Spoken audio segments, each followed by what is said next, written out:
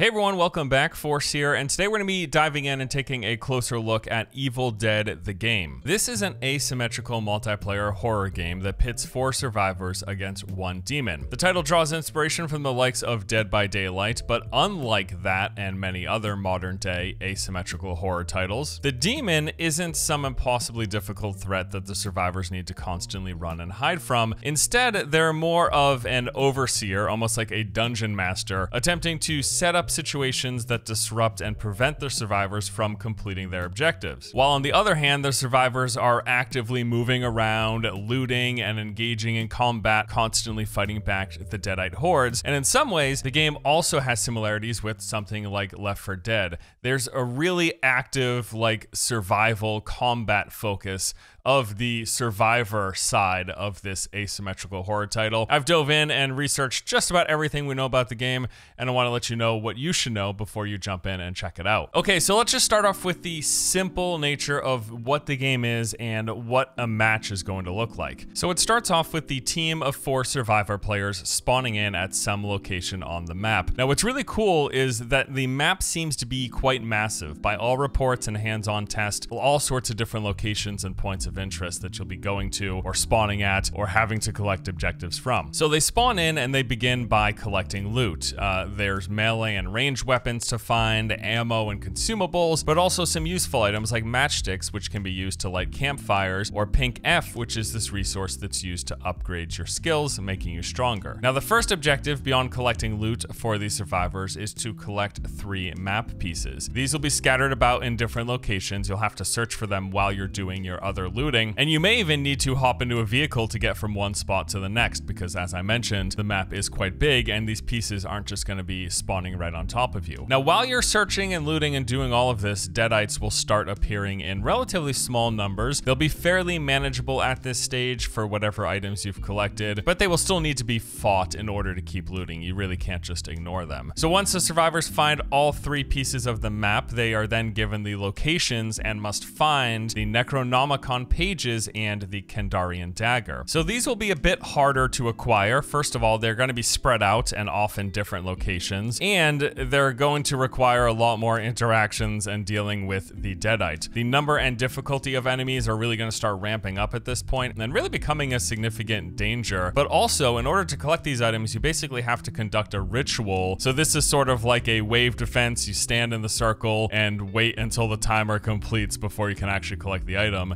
and things really, really ramp up and get very tough here. Should you complete both of those, you have the book, you have the dagger, the game then moves into its final phase. A storm also forms at this location, kind of shrinking the play space, sort of similar to what we see in battle royales, but the play space is shrinking to a specific location, and that is of the Dark Ones. You have to use the Kandarian dagger to banish the Dark Ones, and then in doing so, the Necronomicon will appear, and you have to prevent it from being destroyed by the Deadites and the Demon player. Things are going to be as hard as they will ever get here. The Demon player will be at their maximum strength, and they're going to have a lot of power and be throwing everything at you, but then also you're in a small spot because of that shrinking storm, and enemies are constantly spawning in. I mean, this is where things really get crazy in the game. Now, should the survivors survive and protect the book, they will then win the match. But that was just from the perspective of the survivors. Don't forget there's also a demon perspective that's thrown into a mix and another player playing as that demon. So the demon, Uh, as I mentioned, kind of acts like a dungeon master. They will directly influence the events on the map and try to disrupt the survivors and prevent them from completing their tasks. So they actually start off by flying around, sort of in this ghost form, looking for the survivors, but also collecting these orbs, which are used as a resource to let them do all sorts of things. The demon player can lay traps. They can lay scare traps that will scare players walking close to them. They can also place traps in loot containers. So when a player tries to go and get a piece of gear and a chest, instead they're going to have like uh, mini ashes jump up on them, which will also raise their fear level. And fear plays a big role in this game, and we'll touch on why in a short while. Uh, the demon player can summon enemies. There are three varieties, basic, elites, and bosses, with the higher tier enemies being much stronger, but costing more resource to summon. They can also possess objects, so they can possess trees and animate them to attack, or they can possess vehicles and drive them into players, or drive them away from the players if they're needing the vehicle at the time. They can also possess the deadites that are summoned in, so each deadite that comes in that the survivors survivors are attacking, the demon player can actually take direct control of them and they have their own unique attacks and skills. And so, depending on the one that you summon, it's gonna uh, have a different effect on the players you're attacking against. The demon player can also do these jump scares, which are gonna instantly raise the fear level of survivors. And should their fear level get high enough, and this is why fear is a plays a vital role in this whole experience, if a survivor's player fear raises to a certain threshold, the demon player can then possess that player, gaining direct control of them for a brief time, and they can use them to attack their own teammates or run them into a trap or into some dangerous enemies. Or you could possess a healer and separate them from their team when they really need heals. There's all sorts of crazy stuff and, uh, and, and really ways they could disrupt the survivors through this possession mechanic. Now, as the match progresses, the threat level raises and things get much more hectic for the survivors, which give the demon player a lot of opportunities to capitalize. The demon player levels up actually and gets stronger just by engaging directly with the survivor. So as a demon player, you're not going to want to just hide and collect orbs and set up traps. You want to be constantly interacting with the survivors because that's how you raise your level, unlocking stronger capabilities. And also during those collection events that we talked about when the survivors are picking up the Necronomicon pages and the Kandarian dagger, the demon player's energy recharges much more quickly, letting them essentially freely cast their summons, their traps, and do possessions until that event is over. So a lot of pivotal opportunities for the demon player to really, really try to mess things up and try to secure victory for themselves. Now, on average, matches of this game will last about 20 to 30 minutes and either end by the survivors dying, running out of time, or if they're successful, banishing the Dark Ones and protecting the book. So now I want to talk a little bit more about the survivors and the demons uh, specifically in terms of what can you play and what are their capabilities. So the game's launching with 13 different survivors to choose from, and these are broken up into four separate categories. There is the leader category. These focus on buffing characters around them, giving things like fear resistance, damage resistance, damage boosts, and these will be really great if your team plans to stick together as a full group. Having leaders obviously can be very helpful. The warrior category are tanky characters that also focus on dealing extra melee damage and gaining bonuses from being in the thick of battle. Hunter characters will excel at range combat, dealing bonus damage at range and carrying more ammunition. And then support characters are all about healing and shielding allies whenever they do so themselves, and they'll also carry extra consumables and provide buffs to the squad. Now, every individual survivor also has their own unique active ability as well as perks that play into their roles. And they've got all sorts of different progression beyond their active skills that can really just fit to your playstyle within their particular role. So those are the survivors. Let's now move on to the demons. Now, demons are broken up into three categories, but it's not individually selectable playable characters because, like I mentioned, the demons are sort of like a dungeon master.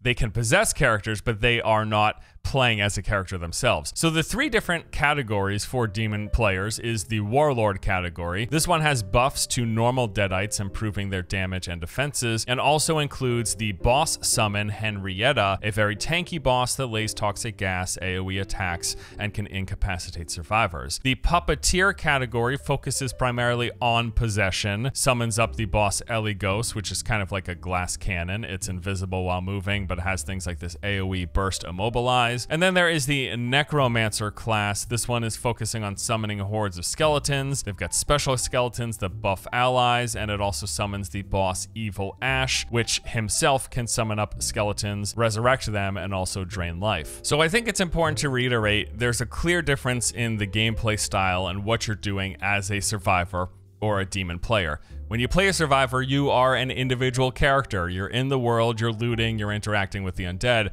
But when you're a demon player, you are a ghost, more or less, flying around, summoning things, controlling the battlefield, but also able to summon a boss and control the boss, or even just control some of the basic enemy types or the elite enemy types, which both of which you can also summon in. A couple other major things I want to touch on. First, let's talk about progression. There are going to be two forms of progression in the game. First, there is the in-match progression. So for the survivor side, you'll collect this resource called Pink F while looting, and this gives you points that you can spend on increasing the effect effectiveness of your melee, your ranged, your health, your fear management, your stamina management, or your shields. But this is specifically exclusive to the match. Demons also have something like this. It's called Infernal Points. They can use them to boost up their infernal energy, their possession skills, their summons, their demon vision, or their traps. But both of those are just specific to the match. Every match you'll start with zero, you'll collect points, and you'll upgrade these things, making you stronger for that match. There's also much longer term progression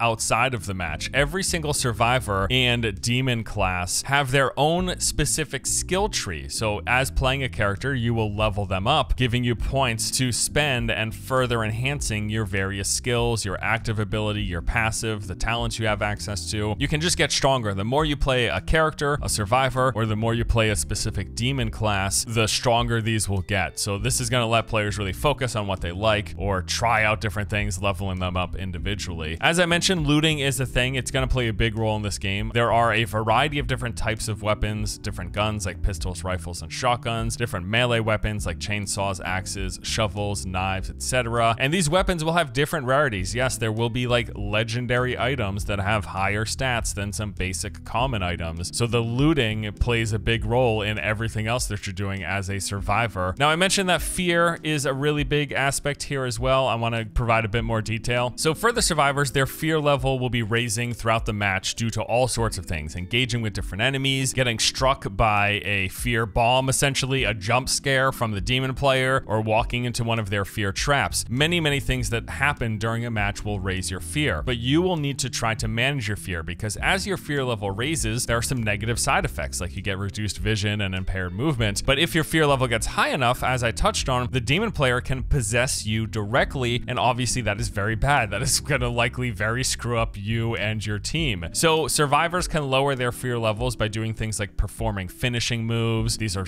basically executions on deadites with low balance or health, or they can also stand by campfires or other light sources. There'll be campfires all around the map, and you'll use matches to light them, which will really lower your fear level. And I want to say once more as well, the map, by all accounts, is very, very large. It contains various locations and different points of interest where you will spawn in, or the collectible objects will be found, or the final boss will be. Cosmetics are definitely going to be a thing. Uh, I've heard that these will be unlocked via progression, different skins for the various characters. I, I also am going to assume that there are likely to be selling skins as well. The main reason leading me to believe this is that there are, are already two pre-order exclusive skins, and typically, if a game will have like pre-order exclusives, they will also have other purchasable exclusives, because that's kind of what that is. We don't know for sure yet, though. We'll have to see when it officially launches. And just the other day, there was a Q&A which touched on a few interesting points that I just want to relay to you here. They were asked what the game would have in terms of replayability, to which the developer said, replayability will come through the interactions with the world as well as character progression. So what they mean by that is that the core objective of the game, the primary game mode, is the same for now. You're going to start off looking for the map pages, then finding the pages of the book and the dagger, and then banishing the dark ones. But the locations of all of that is constantly going to vary. It will be changing where the map pieces are, where the dagger and the Necronomicon is, where the dark ones are spawning, and that variety, as well as the variety of the demon hordes that are coming against you, depending on the demon player and what they summon in and what category they picked. All of that is going to create these emergent uh, situations and this emergent gameplay that mixes it up. But also replayability will come through character progression. As we touched on, players will level up and improve the individual characters that they play. And in terms of single player options, so people who might want to play this game single player, are there going to be bots?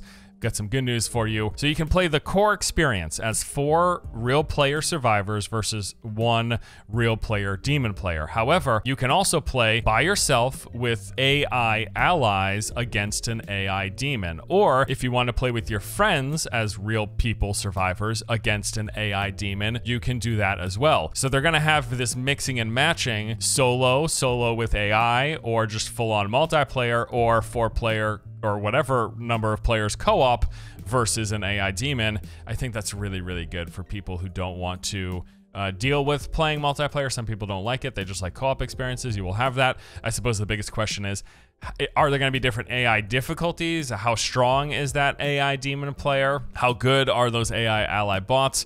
We'll have to see when this thing comes out. Speaking of which, Evil Dead the game is launching very soon on Friday, May 13th. It is priced at $39.99 and will be coming to PC via Epic. It is not available on Steam, and it's also coming to both Xbox and PlayStation consoles. And that is basically it. All of the details and information, everything you need to know before you play Evil Dead the game. Hope you guys enjoyed the video. I'm excited to jump in and check this one out. I've been keeping my eye on it, and it looks surprisingly good for like uh, usually you don't expect much for a movie tie-in video game, you know what I mean? But I'm really liking what I've seen from all of this preview footage here. So we'll have to see very soon. Thanks for watching, guys, and I'll see you in the next one, all right? Take it easy.